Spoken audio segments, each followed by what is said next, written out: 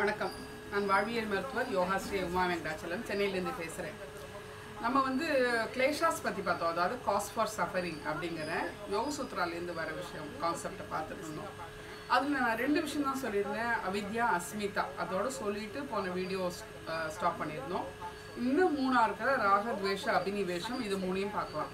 இது ஏன் பார்க்குறோம்? இது நம்ம வாழ்க்கைக்கு எப்படி உதகு உகந்ததாக இருக்குது அதை நான் எப்படி என்னோட வாழ்க்கைக்கு யூஸ் பண்ணிக்கிறேங்கிற விஷயமும் கடைசியில் சொல்கிறேன் இன்னைக்கு வந்து அந்த அவித்யா அப்படிங்கிறது ராங் நாலேஜ் பார்த்தோம். அஸ்மிதா அப்படிங்கிறது மிஸ்பிளேஸ்ட் ஐடென்டிட்டி அதாவது என்னை நான் யாராக நினைக்கிறேனோ அது தப்பான இடத்துல என்னை பொருத்தி பார்க்குறேன் அப்படிங்கிறது தான். ராகம் அப்படின்னா ஐயோ நம்ம எல்லாரும் வச்சுருக்கிறது அதுதான். பெரும்பாலானவங்க நான் வந்து டயபெட்டிக் பீப்புள் எல்லாருக்கும் ராகம் இருக்குது அப்படிங்கிறது என்னோட அண்டர்ஸ்டாண்டிங் பாசம் அதிகமாக இருக்கும். நான் என்னது அப்படிங்கிறது ரொம்ப இருக்கும். திரும்ப திரும்ப அந்த ஆசை இம்பல்சிவ் பர்ச்சேஸ்னு சொல்கிறோம் இல்லையா? அதெல்லாம் ராகம். அதாவது ஒரு விஷயம் நமக்கு சந்தோஷத்தை கொடுக்கறது அந்த சந்தோஷத்தை கொடுக்கறது நம்ம திரும்ப திரும்ப வேணும்னு நினைக்கிறோம். அந்த வேணும் சுகானுஷயி ராகக அப்படிங்கிற வார்த்தையை அவர் சொல்றார் யோசுத்ரால பதஞ்சலி முனிவர். அப்படிங்கிற போது சுகம் சந்தோஷமா இருக்கு எனக்கு ச- சுகமா இருக்கு அப்படிங்கறதுனால திரும்ப திரும்ப அது வேணும்னு நினைக்கிறேன் அப்படிங்கிறது தான் ஃபார் எக்ஸாம்பிள் காஃபி குடிக்கிறாங்க.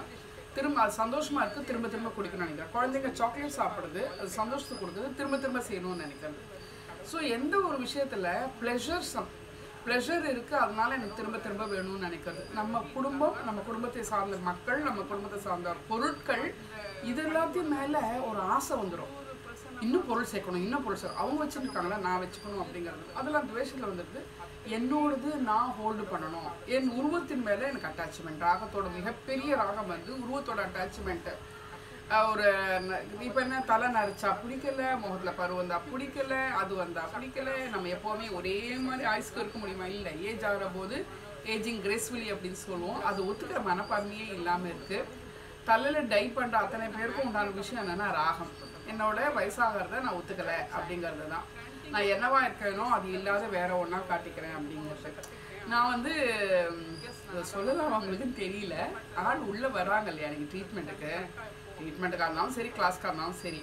அவங்க எப்படி உட்கார்றாங்க எப்படி நிற்கிறாங்க நிக்கிறாங்க எந்த பொருளை கையில் வச்சிருக்காங்க அதை பொறுத்து இந்த கிளேஷாஸை கெஸ் பண்ணிப்பேன். அதோட சேர்ந்து அதோட சம்மந்தப்பட்ட சக்கராஸ் எப்படி இருக்கு அப்படிங்கிறதும் அவங்க உட்காந்துருக்கும் போதோ நிற்கும் போதோ நடக்கும் போதோ அதையும் கொஞ்சம் தெரிஞ்ச அளவுக்கு. எல்லாம் தெரியுங்கிறது கிடையாது.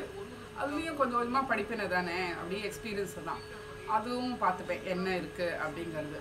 ஸோ இவங்களுக்கு இந்த இந்த சக்கரா அதிகமாக இருக்குது அவங்களுக்கு இந்த குணம் இருக்கு. கிளேஷால் இந்த கிளேஷால் இருக்காங்க.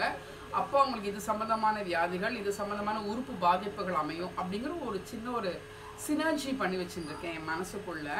இதை ஒரு புத்தகமாக போடணும்னு ஒரு ஆசை இருக்குது ஃப்யூச்சரில் இன்னைக்கு நடக்கும்னு தெரியல. ஸோ ராகம் எல்லாமே நான் என்னது அப்படிங்கிறதும் அதீத பாசம். என் பசங்க என்னோட அவங்களை செய்யணும் எவ்வளோ செஞ்சாலும் பத்தாது அப்படின்னு மாட்டிக்கணும். என் குடும்பம் என் வீடு என் வீட்டுக்கு விளங்குற பொருட்கள் என்னோட துணிமணிகள் என்னோட பொருட்கள் அப்படின்னு எல்லாத்தையும் மேலேயும் ராகம். அதிகமாக சாப்பாடு மேலே ஆசை. இது எல்லாமே வந்து ராகம் சம்மந்தப்பட்டதாக இருக்குது எல்லாரும் ராகம் தான் இந்த நான் மலர் மருத்துவத்தை கூட இந்த கிளேஷா பேஸ்டாக குரூப் பண்ணி வச்சுருக்கேன் எனக்காக நான் குரூப் பண்ணி வச்சுருக்கேன் ஸோ இந்த கிளேஷா பேஸ்டை தான் மோஸ்ட்லி டயக்னோஸ் பண்ணிடுவேன். நான் வந்து துவேஷம் அப்படிங்கிறது ராகத்தோட ஆப்போசிட் எனக்கு பிடிக்க துவேஷங்கிறது ஒரு வார்த்தைக்கு நான் ரெண்டு மூணு இங்கிலீஷ் வார்த்தை சொல்கிறேன் jealous hatred anger revenge kind of things இதெல்லாம் சேர்ந்து அப்படிங்கிறது ஒருத்தரை பிடிக்கவே இல்லை. இப்போ ஃபார் எக்ஸாம்பிள் அவங்க சொல்கிறேனே ஒரு கடைக்கு போகிறேன் அங்கே நான் என்ன சரியாக ட்ரீட் பண்ணலைன்னு வச்சுக்கோங்களேன். ஒழுங்கான சர்வீஸ் கொடுக்கல ட்ரீட் பண்ணலை அப்படின்னா என்ன பண்ணுவோம்? ஐ நான் அந்த கடைக்கு போகிறது நிறுத்திடுவேன் என்னோட குணத்துக்கு நான் அப்படி தான் பண்ணுவேன் கடைக்கு போகிறது அது என்ன ஃப்ரீயாக கொடுத்தா கூட வாண்டான்னு விட்டுடுவேன். பிகாஸ் ஐ டிமாண்ட் சர்வீஸ் அப்படிங்கிற ஒரு பர்சன் நான். அப்போது திரும்ப திரும்ப அது வேண்டாம் அப்படின்னு ஒதுக்குறதுல திரும்ப திரும்ப செய்கிறேன் அதுவும் ஒரு துவேஷம் தான் எப்போவுமே ராகம் இருக்கிற இடத்துல துவேஷமும் இருக்கும். ஒரு எக்ஸாம்பிளுக்கு சொல்கிறேன் பையனை ரொம்ப பிடிக்கும். ரொம்ப பையனை பிடிக்கும்னு வச்சுக்கோங்களேன். மருமகளை பிடிக்காது. இந்த மாமியார் மருமக சண்டைக்கு அதுதான் காரணம். என்னன்னா பையனை அதிகமாக பிடிச்சிருக்கு. இந்த மூணாவது இருக்கிற அபினிவேஷம் இப்போ வரப்போகுது பாருங்க. இது மூணும் ஒன்றுக்குள்ள தொடர்பு உள்ளது. அபினிவேஷம்னா இன்செக்யூர்ட் ஃபீலிங் இன்செக்யூர்ட் பாதுகாப்பற்ற உணர்வு. எதை நாம் வைத்திருக்கிறோமோ அதை இழந்து விடுவோமோ அப்படிங்கிற பாதுகாப்பற்ற உணர்வு. இப்போ வந்து பையன் என்கிட்ட இருக்கான். அந்த ப ம- பையன் வந்து என்னை விட்டு போயிடுவானோ பையன்கிட்ட இருக்கான் அப்படிங்கிறது ராகம். என்னை விட்டு போயிடுவானோ கல்யாணம் ஆனதும் அப்படின்னு நினைக்கிறது என்கிட்ட இருக்கிறது என்னை விட்டு போயிடுமோங்கிறது அபினிவேஷம் இன்செக்யூரிட்டி அதுக்கு காரணம் புதுசாக வந்த மருமக தான் அப்படிங்கிறது நினைக்கிறதுனால அவ மேலே துவேஷம் பையன் மேலே ராகம் மருமக மேலே துவேஷம். ஒரு எக்ஸாம்பிள் சொல்ல நான் நல்ல மாமியார் நிறைய பேர் இருக்காங்க. ஒரு எக்ஸாம்பிளுக்கு சொல்ல உலகளவில் எல்லா மத எல்லா நாட்டினரிடையும் மாமியார் மருமக இஷ்யூ இருக்குது அந்தந்த ரேஞ்சில் இருக்குது இல்லாமலாம் இல்லை. எல்லா நாட்டிலும் இருக்குது ஸோ அதனால் வந்து நீ- என் மகனை பிடிக்கிறதுனால எனக்கு மருமகள் பிடிக்கலை. என் மகனை பிடிச்சிருக்கிறதுனால அது இழந்து இழந்துடுவேனோ அப்படிங்கிறது. பிடிச்சிருக்குன்னா அவ்வளோ பிடிச்சிருக்கு. க்ளோஸ் டு த ஹார்ட் ரொம்ப அப்படிங்கிறது. அப்போது இன்னொருத்தரை அரவணைக்க முடியல. அதுக்கு கூட வந்த பங்கு போட்டுக்கிற எல்லாரையுமே கோவம் வருது. என்ன பங்கு போட்டுப்பாங்க டைம் பங்கு போட்டாகணும். சில விஷயங்கள் ஷேரிங் பங்கு போட்டாகணும். இதெல்லாம் புரிஞ்சுன்னு தான் கல்யாணம் பண்ணி கொடுக்கணும். அப்படி புரிஞ்சுட்டு ஆமாம் இந்த மாற்றங்கள் வரும். ஒரு தாயாக என்ன தவிர வேறு யாரும் மனசில் இருக்க முடியாது. ஒரு மனைவியாக அவள் தான் மனசில் இருப்பாள் நான் அதனால் வந்து அங்கே போய் அவங்க டைம் அவங்க அவங்க ஒரு குடும்பத்தை உருவாக்கணும் இல்லையா? அதுக்கு டைம் கொடுக்கணும் இல்லையா? அவங்க பிள்ளை பெற்று வளர்த்து அவங்களோட அனுபவம் வாழ்க்கை அனுபவங்கள் அவங்க கோத்ரூ பண்ணணும். நம்மளோட சாஸ்திரங்களில் போட்டிருக்கு. அதனால அந்த கோத்ரூ பண்ணுறதுக்கு அவங்களுக்கு டைம் வேணும். அதில் போய் நமக்கு நினைக்க முடியாது. இதெல்லாம் அறிவு இருந்ததுன்னா அது பேர் வித்யா. அந்த அறிவு இல்லாமல் இருந்ததுன்னா அது பேர் அவித்யா. ஸோ எனக்கு வந்து என்னோட அப்பியரன்ஸ் மேலே ரொம்ப அக்கறை. தலை நரைக்கிறது எனக்கு பிடிக்கல.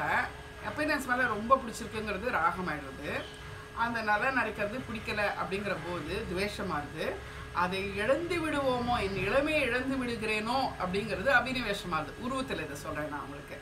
அதனால் எப்போவுமே வந்து எனக்கு முட்டி வலி நே போன மாதம் வரைக்கும் நல்லா இருந்தேன். இப்போ தான் முட்டி வலி வந்துடுது அப்படின்னு சொல்லுவாங்க. போன மாதம் வரைக்கும் நல்லா இருந்து திடீர்னு முட்டி வலி லெட்டர் போட்டுட்டா வரும். லெட்டர் போட்டுலாம் உடம்புலாம் வராது. எனக்கு முட்டி வலி வந்துடுது நான் எங்கே தவறு செய்தேன் அப்படின்னு நம்ம உட்காந்து யோசிக்க வேண்டியது. யோசிச்சா அவங்களுக்கே பதில் கிடைச்சோம் ஆனால் நம்ம என்ன நினைக்கிறோம்? வேற யாரோ நமக்கு செய்யணும் அப்படிங்கிறது நினைக்கிறோம். எல்லாமே தான் தன் சின்ன குழந்தைங்க கூட பாருங்களேன் ம் அப்படின்னு எடுத்து வச்சுக்கோம் இது ராகத்தோட அடையாளம். அதையே பார்த்துட்டு இருக்கோம் அதை. குழந்தைங்க நாலஞ்சு குழந்தைங்க இருக்க விளையாடுற இடத்துல இது பத்திரம் இது எல்லாருக்கும் கொடுத்துருக்கோம் இது வந்து பத்திரமா வச்சுக்கிறது தான் எங்கள் குடும்பத்தை கூட பார்த்துருக்கோம் ஒன்று வந்து உடனே உடச்சிரும் இல்லை உடனே சாப்பிட்டுடும் சாக்லேட் வாங்கி கொடுத்தா அந்த மாதிரி இருக்கும். இது மட்டும் இப்படி ஒழிச்சு வச்சுக்கோம் அப்புறம் எடுத்துக்கிறாங்க அது சாப்பிடாது. சாப்பிட்றவங்க கொடுக்காது. இது ராகத்தோட அடையாளம். இது கண்டிப்பாக அபினிவேஷம் இருக்கும்.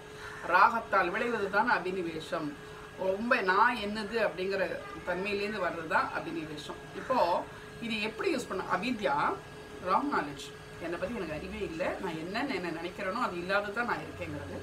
அஸ்மிதாங்கிறது மிஸ்பிளேஸ் ஐடென்டிட்டி அதாவது அர்ஜுனா வாரில் வந்து வாரியருங்கிறத மறந்து குடும்பத்தை பற்றி யோசித்தான் அப்படிங்கிறது. நம்ம வேறு வேறு இடத்துல வேறு வேறு விஷயமா ஈகோ கூட ஓரளவுக்கு அதில் அஸ்மிதாவில் தான் வருது. அதனால் வந்து நான் யார் தெரியுமா அப்படிங்கிற ஒரு தன்மை. நான் யார் தெரியுமாங்கிறது நமக்கு எப்போ பாரு இருக்குங்க. எல்லாத்துக்கும் நான் வந்து எப்போவுமே வீடு க்ளீனாக வச்சுப்பேன். இந்த பொம்பளைங்களுக்கு இருக்காங்க பாருங்க அப்படின்னு. நான்லாம் வேலையில் ஜென்ஸ்க்கு மட்டும் என்ன? நான் வேலையில் சூப்பராக செய்வேன். என்ன மாதிரி யாருமே வேலை செய்ய முடியாதுன்னு வர அத்தனை ஜென்ஸும் சொன்னாங்க. ரிட்டையர்டாக இருந்தாலும் வேலை இருந்தாலும் வேலையில் தான் நான் கில்லாடி ஆஃபீஸில் அவங்க யாராக இருக்காங்க அவங்கள மாதிரி வேலை செய்ய முடியாதுங்கிறது அவங்க சொல்கிறாங்க பெண்கள் ஆஃபீஸ்லேயும் சரி வீட்லேயும் சரி என்ன மாதிரி கிடையாதுங்கிறது எண்ணம் இருக்குது நாங்கள் எவ்வளோ லேட்டானாலும் கிளம்பும்போது மேடையெல்லாம் க்ளீன் பண்ணி வச்சுட்டு தான் கிளம்புவேன். நான் இப்படி தான் அதை செய்வேன். நான் இந்த சமையல் பெஞ்சா இப்படி இருக்கும் சூப்பராக இருக்கும் அப்படிங்கிறதெல்லாம் எல்லாருக்குமே இருக்குது நான் ட்ரெஸ் பண்ணினா நல்லா இருக்கும் அப்படிங்கிறது. இது எல்லாமே மிஸ்பிளேஸ்ட் ஐடென்டிட்டி இது எல்லாமே நான் அப்படிங்கிற தன்மை எல்லா இடத்துலையும் இருக்கும்.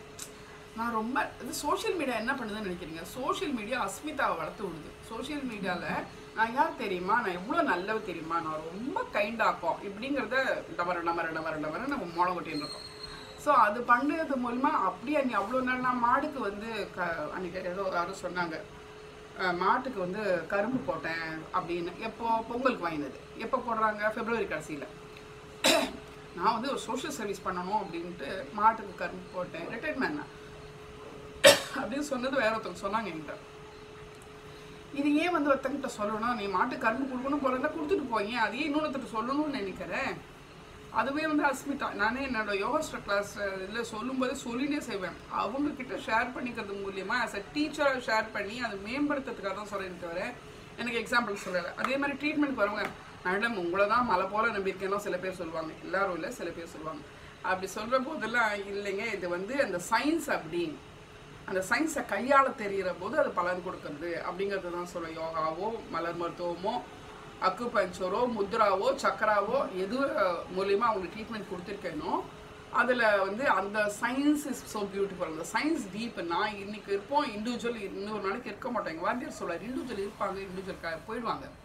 ஆனால் அந்த சயின்ஸ் நிற்கும் பல காலத்துக்கு நிற்கும் அந்த சயின்ஸை சரியாக கையாள தெரியணும் அப்படிங்கிறது அதுதான் நம்ம செய்கிற ஒரு விஷயம். அதுக்கே வந்து கொடுப்பின வேணும். அதுக்கே வந்து ஒரு பிளெஸ்ஸிங் வேணும். டிவைன் பிளெஸ்ஸிங் வேணும்.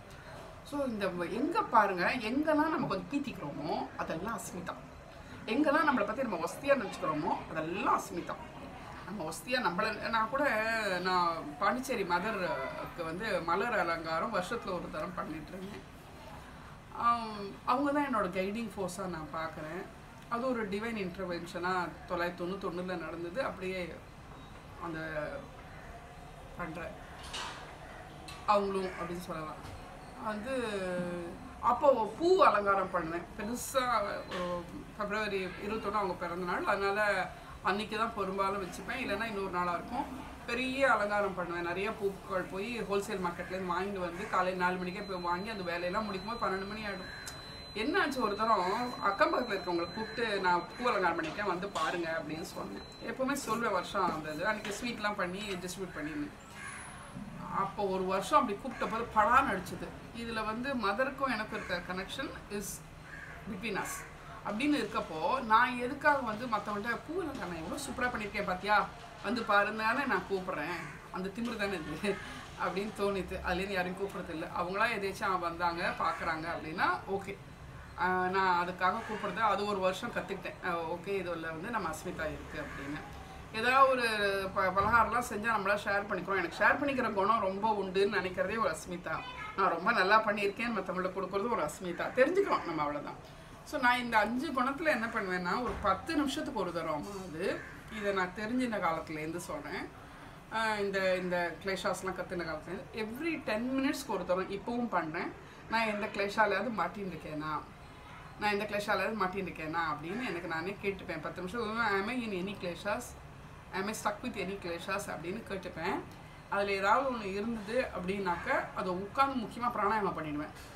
பிராணாயாமம் பண்ணோன்னா எனர்ஜி அதிகமாக கிளாரிட்டி அதிகமாக இருக்கும். கிளாரிட்டி ஆஃப் மைண்ட் வரும்போது அந்த கிளேஷாவை வின் பண்ணுறது ஈஸியாக இருக்குது இது எனக்கு சௌகரியமாக இருக்கிற மெத்தட் நான் எல்லாத்துக்கும் பிராணாயாமம் எடுத்துப்பேன். மூச்சை கவனித்து நிதானமாக மூச்சு விடுறதில் அப்படிங்கிறது பத்து நிமிஷம் பதினஞ்சு நிமிஷம் நாற்பது நிமிஷம் கூட பண்ணுவேன். பண்ணிட்டு கொஞ்ச நேரத்தில் பார்த்தானாக்க நான் பண்ணின தவறுக்கு உண்டான எந்த கிளேஷால் இருக்கனோ அதுலேருந்து மீண்டதுக்கு உண்டான பதில் வந்துடும் பேகேஜ் சேர்க்கறதில்ல என் உடம்பு ஏதாவது படுத்துறது இப்போ ரெண்டு நாளாக அங்கேருந்து ஒரு புல் இருக்கு எனக்கு. இதுக்கு என்ன கிளேஷா காரணம் அப்படிங்கிறது தான் பார்க்குறேன். இந்த கிளேஷா காரணம் என்னங்கிறது எனக்கே தெரியுது. சிஸ்டம் முன்னாடி இருக்கேன் நிறையா கொஞ்சம். அது எனக்கு அந்த கழுத்து ஸ்ட்ரெயின் கொடுக்குறது. இப்போ சிஸ்டம் முன்னாடி இருக்கிறது எதனால?